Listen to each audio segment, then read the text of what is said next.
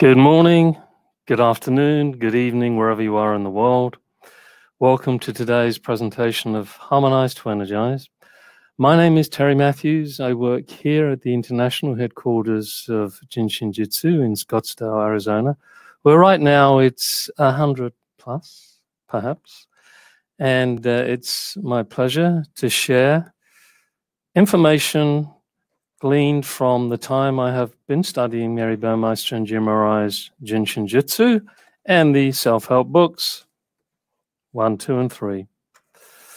So, um, those of you that have been following along fairly diligently, maybe um, live or on the replays, will know that most recently we've been looking at how to harmonize attitudes, and we understand attitudes to be embedded emotional responses to situations. They become crystallized within us.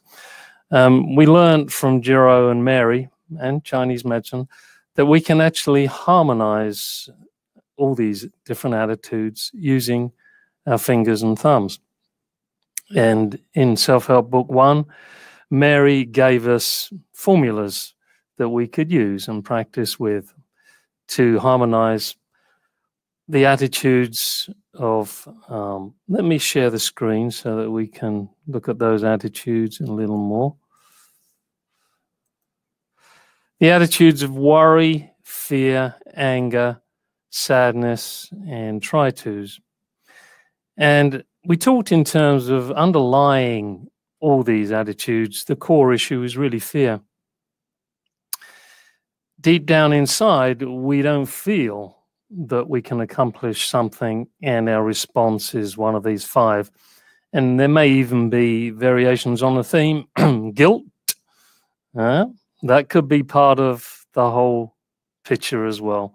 So, when you look at that diagram there, you can see I've segmented it, um, three lines going across there from the tip of the finger down. And we talked last week about how Holding the fingers in the different segments will help the different regions that we harmonize in the body with Jin Shin Jyutsu. So B is for bust line, uh, W is for waistline, and H is for hip line. So that when we're going through the practice of harmonizing attitudes using the fingers, we can explore those segments and see how sensitive perhaps they may be or not and maybe that will help us focus in on those areas either during the practice or later using Jin Shin Jyutsu flows. We also talked how the sides of the fingers are related to the organ function flows, and the top and the, the palm side and the back side are actually related to the unmanifest number flows. Um, those of you that are brand new to Jin Shin Jyutsu, don't concern yourself, don't worry, don't get into too much fear about all these understandings and definitions. Once you start experiencing and exploring the balancing and harmonizing, you probably are going to be drawn to getting the books, the self help books, and you'll explore, and things become self evident. We learn on a journey, as it were, so to speak. so, today, we're going to look at how can we harmonize the attitude of sadness and grief. This is ordinarily related to disharmony in the lung and large intestine, which can be harmonized by the ring finger and indeed the index and the thumb. And in Mary's teaching in Self Help Book 1 on page 32, those of you that have it, page 32. She talks about um, this whole process of harmonizing grief and sadness. And I'll just read briefly what she has to say here. She says, um, grief, open parenthesis, negative, mucus forming, common sense. In brackets, again, an imbalance in our individualized lung and large intestine energy pattern. Yeah, so um, who came first, the chicken or the egg, the attitude or the blockages in the lung and large intestine? I'm going to suggest to you it was highly likely to be our thinking processes that created a negative attitude that disharmonized our energy field, which in turn disharmonized our organs, etc., etc. I'll suggest that to you. You may explore that yourself, and as time goes on, you may learn as you witness your thinking. Oh yeah, when I think in a certain way, I feel different from when I think in another way, and when I feel or think in a more uplifting way, I tend to feel uplifted. I tend to feel happier, generally more positive. I'm not saying, you know, I want you to consider being um, a Pollyanna and everything is great and wonderful. I'm just saying that looking at things through a lens of harmony is going to help harmonize your energy field, your organs, everything else a lot quicker, a lot more efficiently than if you respond to something and stay with a shock or negative fear response. That's all. It's perfectly authentic to go through all these um, particular attitudes of worry, fear, anger, sadness, and trying to as an initial response. It's whether you stay with that response that makes a difference between how you transform or whether you let things embed, crystallize, and get stuck.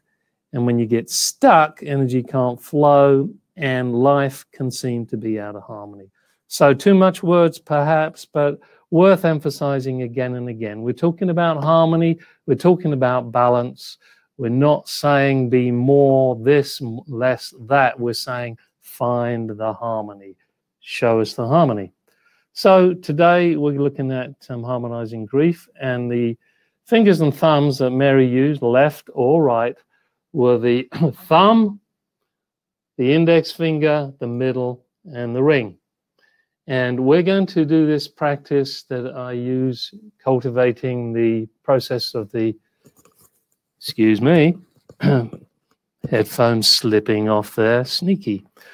The 36 breaths, four sets of nine exhalation inhalations. One breath is an exhalation inhalation. We do um, nine of them on each digit for this practice. After the ninth, we slip into the ninth space or depth, I'd like to suggest, where we are remaining in a more neutral space, where we become the observer. We see what happened in that part of the journey. Did anything happen? Have we moved on? Have we stayed still? Whatever. So it's a journey. And um, for those of you that are new today, we're going to keep our body upright as much as possible. It's good to support yourself. The spine likes to be straight because energy travels up and down the spine. And if it's kinky in any kind of way, it slows and impedes the progress of the energy, just like electric current going through a circuit. And we keep our feet firmly on the ground. An electric current likes an earth cable, and we like to feel earthed. We like to sense that energy is coming from head to toe. And we talked about moving energy from safety energy lock number four, the occiput through the 15, the waistline, hip line, sorry, hip line, to the big toes, and then spiraling back from the big toes through the hip line to the fours. So that gives you maybe some image those of you that are very visual of how energy moves from head to toe. It also moves from skin to bone, just in case you were wondering. And so we'll go through this process and you, you make the choice. Left emphasizes the exhale, right emphasizes the inhale. Generally, we begin with an exhale. We exhale, uh, drop our shoulders in Self Help Book 2, the recipe Relax, be the dropping of your shoulders, bow your head slightly, be the smile. Exhale, unload all your dirt, dust, and greasy grime, all skepticisms, fears. Enjoy inhaling, receiving your breath of life. Be the essence within the breath. The essence is energy, light in all its different frequencies as it dances down into the body. Be the essence within the breath, infinite truth, infinite self, know myself. And jumper cable to begin. Mary called holding our digits jumper cabling because we're allowing the universal energy to jump to us, to enhance and harmonize, to energize our body.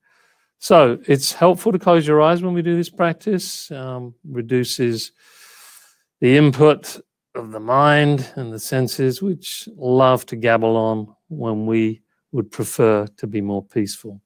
So let's just begin and just sit quietly. Place your hands in your groin area, in your hip area, just like that. Palms up, palms up um, again um, encourages the exhale, downward movement. Palms this way is encouraging the inhale. So we sit with the palms up to encourage an exhale. And just become aware where you are right now, right in this moment. Be here now. Just observe. You can close your eyes and just head to hip to toe it. Be the observer, be the witness. Where am I at?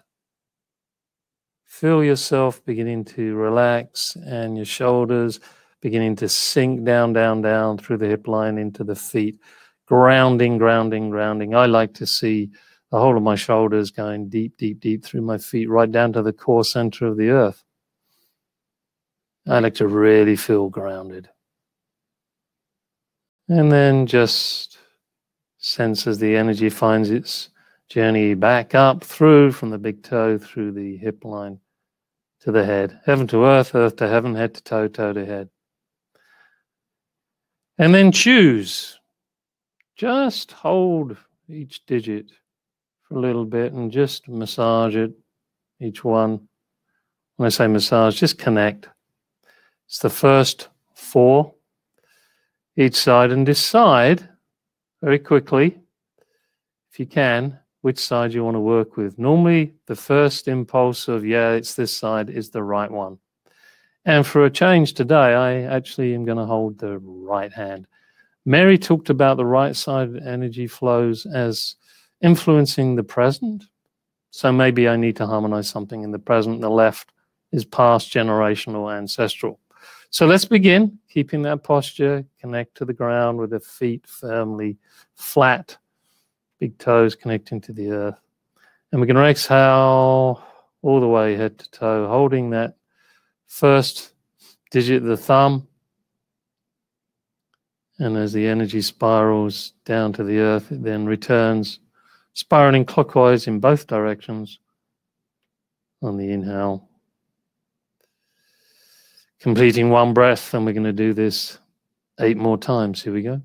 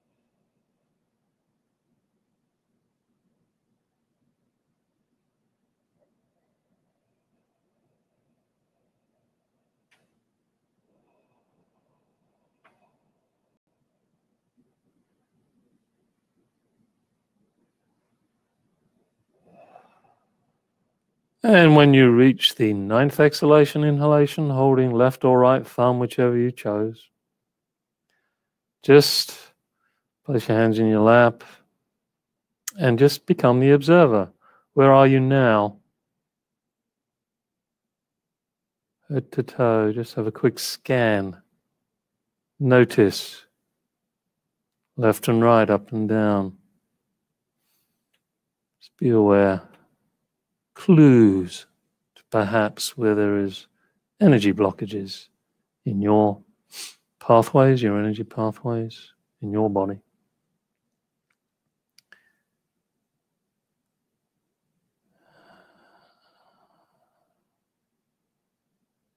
And then we move right or left, left or right to the next digit. For those that haven't done this before, index finger, right index finger or left index finger. Holding again, exhaling. Nine exhalation inhalations, holding that index finger.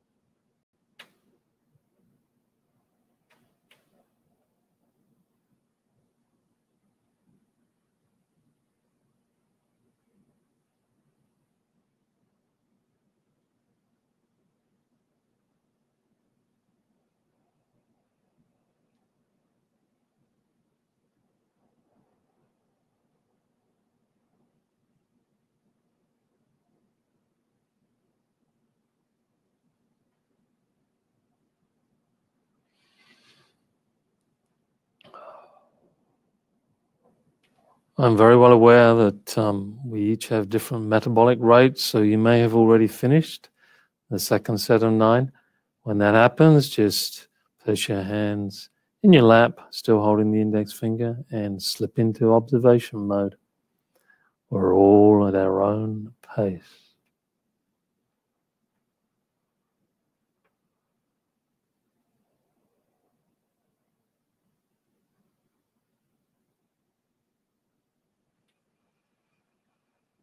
Okay, so having completed my second set of nine exhalation inhalations, holding this time the index finger, I just slip into neutral and I observe head to toe, skin to bone, what's going on, where, who, what, why, and when.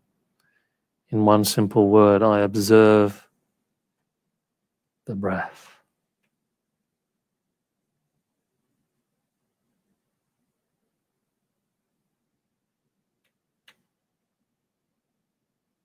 And as we observe, we connect more to the frequency of being rather than doing because we become the witness rather than the doer.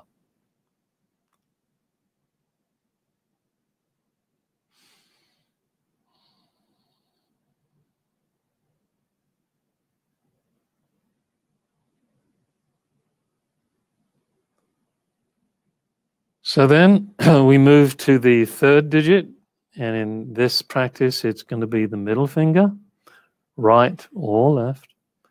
And again, we hold. Remember, you can concentrate on the tip, the middle segment, the bottom segment, if you wish. You can also focus on the side if you wish. I'm going to hold the whole of it. And again, we begin the practice. Exhale, energy moving down the front, head, hip, toe toe, hip, head, nine times. Here we go.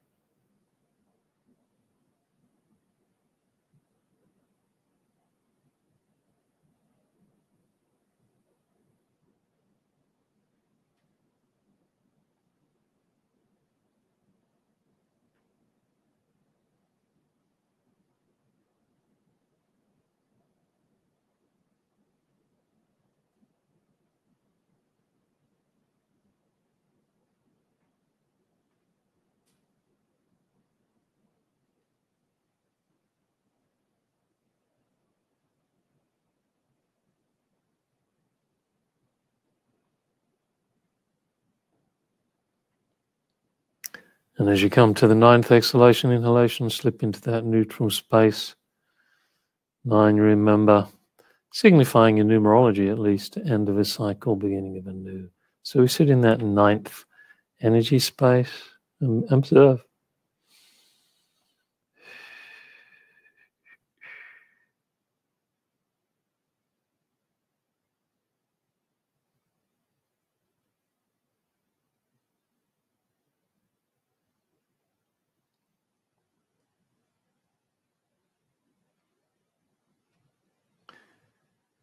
And then the final finger that we use for this particular practice for harmonizing sadness and grief, ring finger.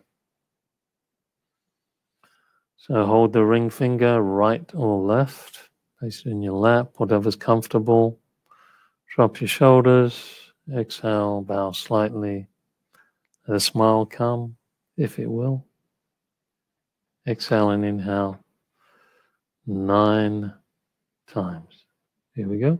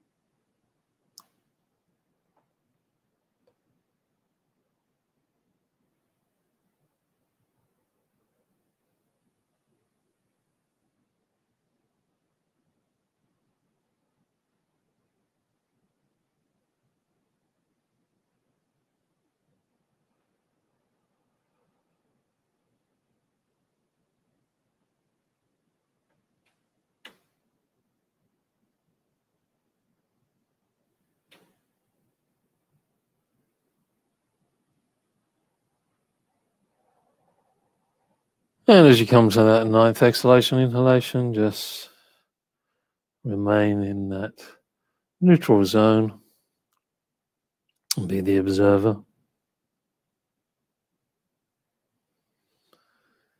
This is one of the practices where we naturally use four digits, so that marries up well to the 36 breaths, the four sets of nine. But you know, there isn't really any limit on how long you practice.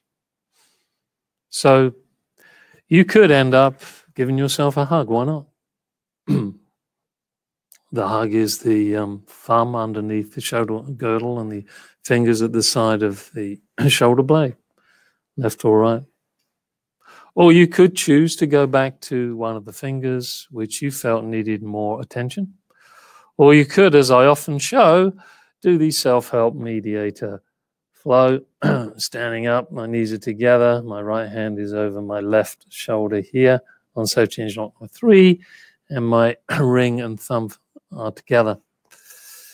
So that's how you can, if you wish, finish a practice, and you can do as many breaths as you like at that point. Be your own testimony, be the artist.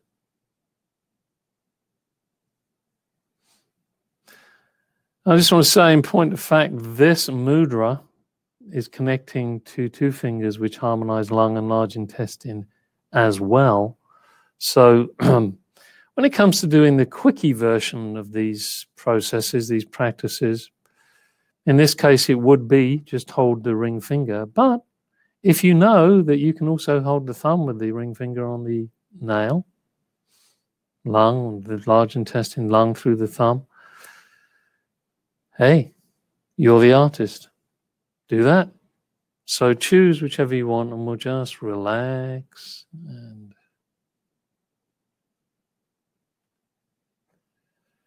if we had any sadness, Some people have what they call um, seasonal affective disorder, which spells sad.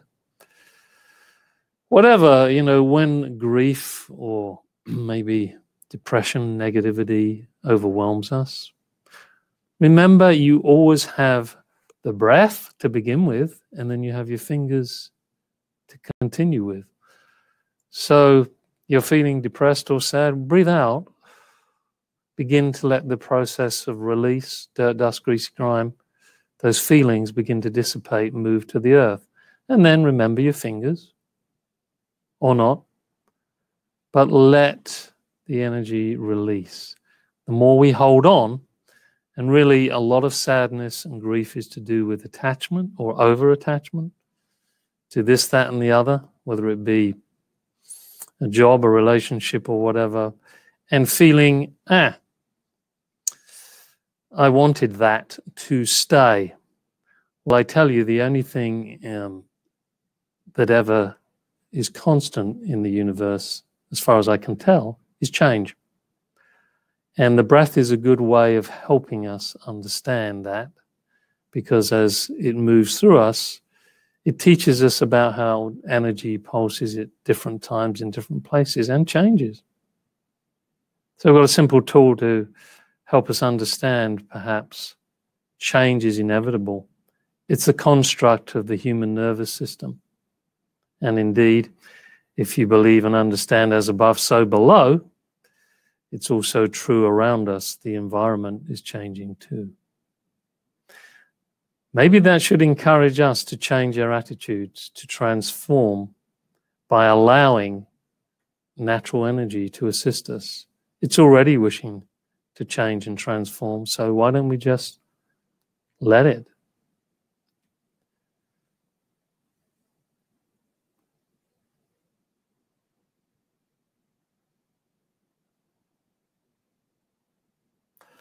So, thank you very much, everybody, everywhere in the world, wherever you are, for joining me today. In about whenever it happens, there will be a replay of this on YouTube. I think you're also sent a replay from Webinar Jam too. So, if you missed a bit, or if you think your friends might benefit, the replay is available on YouTube. The address is up there www.youtube.com forward slash Jin Shin Jyutsu official one word. Those of you that would like to explore more in the self help books, I've put up the link where you could purchase them from our store. And in the meantime, oh dear, my hair clip keeps falling down. In the meantime, have a wonderful, peaceful rest of the day and rest of the week. Until next time, au revoir. Stay safe. Be wise. Be gentle with yourself. Be kind with everything as much as you can. See you next week.